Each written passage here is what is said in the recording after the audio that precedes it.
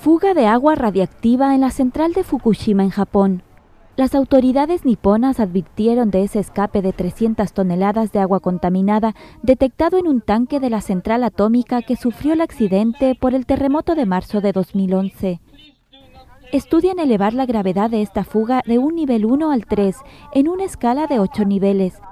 Sería calificarlo como un incidente serio. Es un problema que se suma al de los daños del terremoto que aún no han sido solucionados. Por esta nueva fuga, las autoridades dicen que se están emitiendo 100 milisieverts por hora.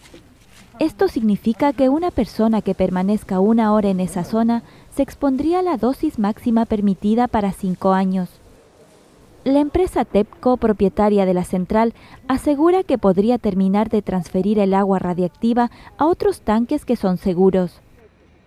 Los residentes en las proximidades están alarmados además porque los análisis que se han realizado revelan que en los últimos meses aumentaron los casos de cáncer de tiroides en menores.